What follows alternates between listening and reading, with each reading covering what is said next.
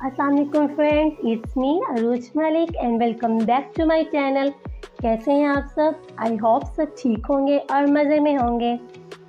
अच्छा आज का हमारा टॉपिक है एलोवेरा एलोवेरा को एक मैजिकल प्लांट कहा जाता है, जिसके इस्तेमाल सदियों से हेल्थ इश्यूज़ को रिजॉल्व करने के लिए किया जाता है। एलोवेरा का इस्तेमाल ना सिर्फ़ स्किन की प्रॉब्लम दूर करने के लिए एक्सटर्नली किया जाता है, बल्कि मुख्तु बीमारियों के लिए इसे गज़ा के तौर पर भी इस्तेमाल किया जाता है। इसका जूस बनाकर भी इसे इस्तेमाल किया जाता है। अच्छा एलोवेरा एक ऐसा पौधा है जो अक्सर हमारे घरों में मौजूद होता है। अगर किसी के घर में ना भी हो तो इसे आसानी से अपने घर में ग्रो कर सकता है। इस वीडियो में मैं आपको एलोवेरा को यूज़ करने से क्या क्या बेनिफिट्स हैं, वो बताऊँगी। इसको यूज़ करने का सही तरीका और किन किन लोगों को इसका इस्तेमाल नहीं करना चाहिए ये सब इस वीडियो में बताऊँगी। एक बात याद रखें कि जो चीज़ जितनी ज़्यादा अफेक्टिव होती है अगर उसको गलत तरीके से इस्तेमाल किया जाए या उसका इस्तेमाल ज़्यादा किया जाए तो इसके साइड इफ़ेक्ट भी होते हैं। सो so, चलिए वीडियो स्टार्ट करते हैं मगर उससे पहले आप लोगों से एक छोटी सी रिक्वेस्ट है। अगर अभी तक आपने मेरे चैनल को सब्सक्राइब नहीं किया तो प्लीज़ जल्दी से कर दें और सब्सक्राइब के साथ जो बेल है उसे भी प्रेस कर दें। आप मुझे मेरे इंस्टा पर भी फॉलो कर सकते हैं। मुझे बहुत अच्छा लगेगा। सर, चलिए वीडियो स्टार्ट करते हैं। अच्छा एक बात यहाँ पर आप नोट कर लें। जब भी आप फ्रेश एलोवेरा यूज़ करोगे तो इससे पहले इसके येलो पार्ट को रिमूव करना ज़रूरी है। चाहे फिर एलोवेरा आप जूस फॉर्म में यूज़ करो या स्किन पर एप्लीकेशन के लिए। हर सूरत में इसके येलो पार्ट को रिमूव करना ही करना है। क्योंकि ये हमारे लिए एक पॉइज़न है, यानी जहर है हमारे लिए। ये येलो पार्ट हमारे पेट और स्किन के लिए काफ़ी ज़्यादा नुकसानदेह होता है। जिसकी वजह से कई बार क्या होता है एलोवेरा को हम अपनी स्किन पर अप्लाई करते हैं, जिससे पिंपल और इरिटेशन स्टार्ट हो जाती है।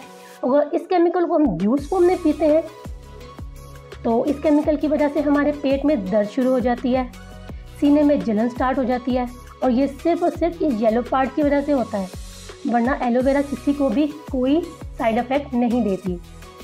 ठीक हो गया?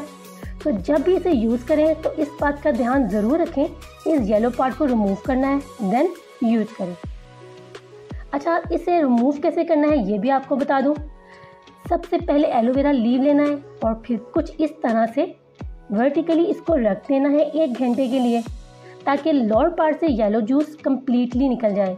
बस इतना काम करना है यार। देन इसे यूज़ कर लें। अच्छा जी, अब बात कर लेते हैं इसके बेनिफिट्स की। जैसे आपको पता है, एलोवेरा में काफ़ी मकदार में vitamin A vitamin C vitamin E मौजूद होता है। इसके अलावा बी ट्वेल्व मिनरल्स भी मौजूद होते हैं, जो हमारी स्किन के लिए काफ़ी ज़्यादा फ़ायदेमंद होते हैं। इसके अलावा एलोवेरा में ज़बरदस्त एंटी वायरल और एंटी बैक्टीरियल प्रॉपर्टीज़ मौजूद होती हैं, जिसकी वजह से आपके मैदे और आंतों में मौजूद जरासीम का खात्मा होता है। अच्छा अगर बालों की बात की जाए तो ये आपके बालों को बहुत ही सॉफ्ट कर देता है मैनेजेबल कर देता है, आपके बालों में फ्रिजीनेस नहीं रहती। अच्छा इसको आपको नहाने के बाद अप्लाई करना है। जब आपके बाल ना तो ज़्यादा गीले हो और ना ही ज़्यादा सूखे, तब आप इसको अप्लाई करना है।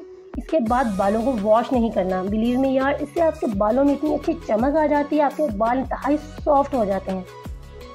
स्किन पर यूज़ की बात की जाए तो आप एलोवेरा को एज अ प्राइमर भी यूज़ कर सकते हो। इससे आपकी बेस बहुत ही अच्छे से सेट हो जाती है और फ्लॉलेस लगती है। इसके अलावा एलोवेरा जो है आपकी सन बर्न स्किन को रिपेयर करने में हेल्प करता है। आप एलोवेरा को आइस क्यूब में डालकर रेफ्रिजरेटर में रख दो। फ्रीज होने के बाद इसे अपने चेहरे पर अप्लाई करें दिन में दो मरतबा। इससे आपकी सनबर्न जो स्किन है, वो बिल्कुल ठीक हो जाएगी। अगर आपके डार्क सर्कल है तो भी ये उसके लिए भी बहुत ही ज़बरदस्त चीज़ है। उसके लिए आपको क्या करना है, एक खीरा लें, उसको कद्दूकश कर लें। फिर कद्दूकश किए हुए खीरे की two table spoon aloe vera की टू टेबल स्पून इन दोनों को अच्छे से ब्लेंड कर लें। जब ये अच्छे से ब्लेंड हो जाए तो इसको आइस ट्रे में डालकर फ्रीज़र में रख दें। दिन में दो मरतबा से आँखों पर अप्लाई करें। तीन मिनट के लिए कम अज़ कम। इससे आपके स्याह हल्के काफ़ी हद तक लाइट हो जाएँगे। But two to three month ज़रूर यूज़ करना है।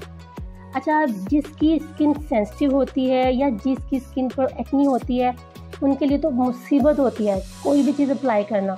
हर चीज़ अप्लाई करने से पहले दस बार सोचते हैं कि पता नहीं स्किन का क्या हाल होगा। बट एलोवेरा का शुमार दुनिया में सबसे ज़्यादा इस्तेमाल होने वाली हर्ब में से होता है। एक्नी के खात्मे के लिए एलोवेरा से बेहतरीन और कुछ भी नहीं है। बट एक बात जहन में रखनी है एक्नी वाले जो हैं वो हमेशा फ्रेश एलोवेरा ही यूज़ करेंगे। अदरवाइज़ आप बाज़ार की एलोवेरा भी यूज़ कर सकते हैं, कोई प्रॉब्लम नहीं है।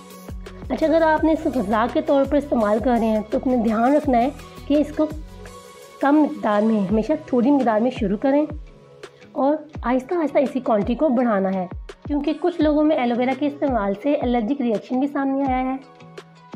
अच्छा अब इसे इस्तेमाल कौन नहीं कर सकता? एक तो जी हामला खातन और 12 साल से कम उम्र बच्चों को इसका इस्तेमाल हरगिज़ ना करवाएँ। ठीक हो गया? सो so, ये थी मेरी आज की वीडियो उम्मीद करती हूँ वीडियो आपको अच्छी लगी होगी। अगर अच्छी लगी हो तो इसे लाइक कर देना, अपने फ्रेंड के साथ शेयर करना और अपना फीडबैक मुझे नीचे कमेंट सेक्शन में ज़रूर देना। मुझे बहुत अच्छा लगेगा। और मज़ीद किसी टॉपिक पर वीडियो देखना चाहते हैं तो वो भी मुझे नीचे कमेंट सेक्शन में बताइएगा। सो मिलते हैं नेक्स्ट वीडियो में। तब तक के लिए अल्लाह